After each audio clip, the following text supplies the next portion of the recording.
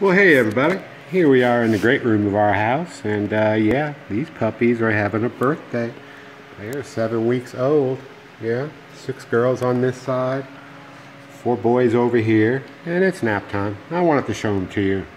Nap time though, because this is kind of how I train my Airedales in the house.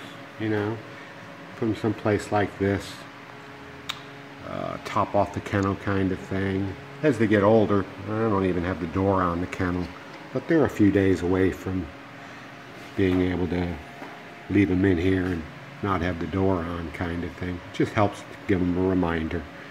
And of course, this is, you know, their bed position. Yeah, girls. So uh, when these puppies wake up and start, uh, you know, moving around, well, that's when it's time for potty, right? And everybody gets run out the door to go potty. But right now, yeah, now. So uh, I put ribbons back on them. I only had one girl puppy that just had thrown off both of her ribbons. So I made her pink. Yeah. Pink, pink. Yeah.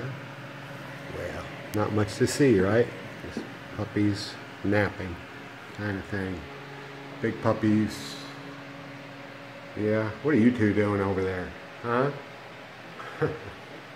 Little girl and old boy puppy. You're a little bit too big for that crate, aren't you there, boyfriend? And Duke lying on his back over there.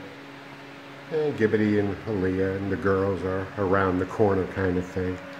Camped out in the bedroom. And Curly's back with her puppies right now.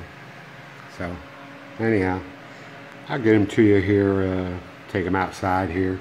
I got them on a two and a half, three hour timer kind of thing. So, another hour or so. They'll be ready. Talk to you guys next time.